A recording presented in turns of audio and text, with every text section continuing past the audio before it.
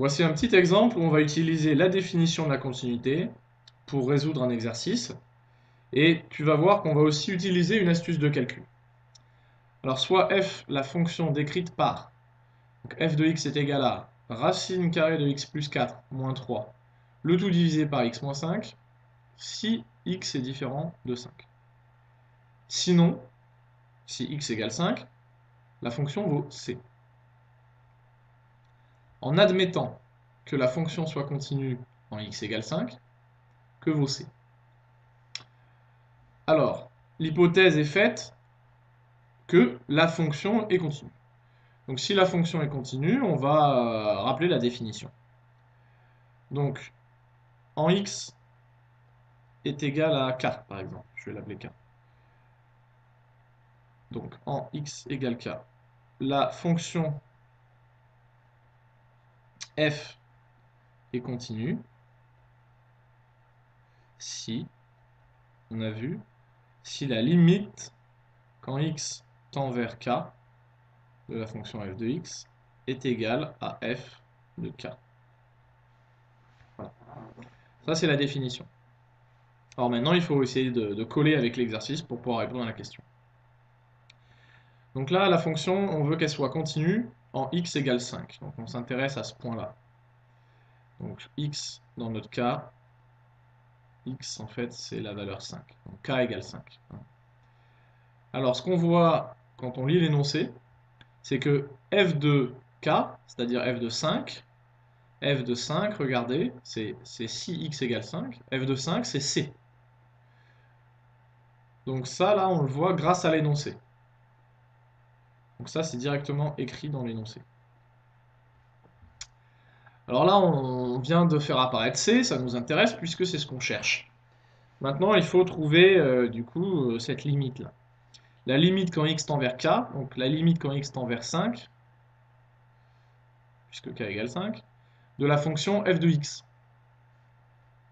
Alors, vous vous rappelez, euh, quand on observe les graphiques, pour calculer la limite, on regarde ce qui se passe à droite et à gauche, très très près de x égale 5.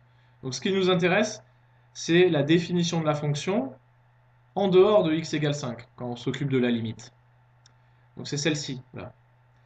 Alors ici, le problème, c'est que si on remplace euh, x par 5, ben, on fait apparaître 0 au dénominateur.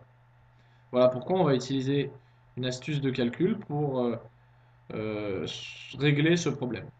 Donc je réécris la fonction, c'est x plus 4, le tout racine, moins 3, le tout divisé par x moins 5. Là, on reconnaît a moins b ce que je vais faire tout de suite, c'est que je vais multiplier par A plus B. Pourquoi? Parce que j'ai en tête, ça, j'ai en tête mes identités remarquables. Et je sais que A moins B fois A plus B, ça fait A carré moins B carré. Donc là, j'ai euh, le A moins B. Donc je vais multiplier en haut et en bas, bien sûr, hein, pour conserver l'égalité, par A plus B, c'est-à-dire par racine carrée de x plus 4 plus donc je vous l'ai écrit. Ça fait racine carrée de x plus 4 moins 3. Le tout multiplié par racine carrée de x plus 4. Donc ça c'est a plus 3. 3 c'est b. Donc le tout divisé par eh bien, x moins 5, évidemment, qui lui est toujours là, auquel je multiplie racine carrée de x plus 4 plus 3. Donc là, je mets les parenthèses. Voilà.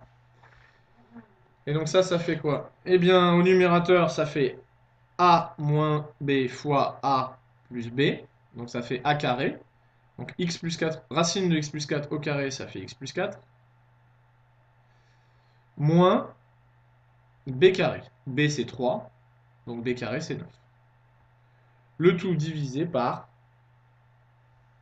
euh, tout ça. Donc je le, réécris juste, tout simplement. Voilà, donc ça fait x moins 5, facteur 2, racine carrée de x plus 4, plus 3. Et regardez au numérateur, x plus 4 moins 9, mais en fait, c'est la même chose que x plus 5. Du coup, je peux simplifier euh, x moins 5, pardon. x moins 5. J'ai fait une petite erreur. C'était 4 moins 9, donc ça fait bien moins 5. Du coup, je peux simplifier x moins 5 et x moins 5. Voilà. Et donc j'arrive à...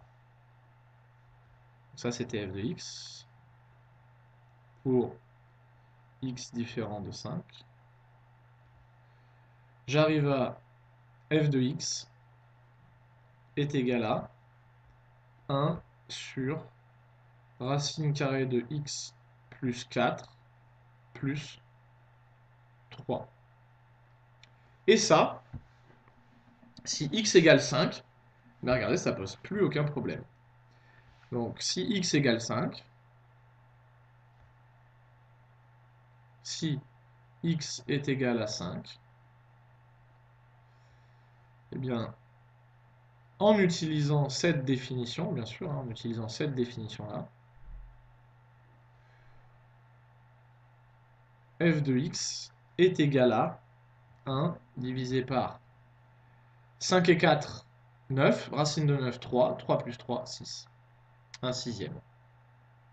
Donc en fait, en utilisant la définition de la fonction pour x différent de 5, on s'aperçoit que si, si on évaluait la fonction en x égale 5, on trouve 1 sixième.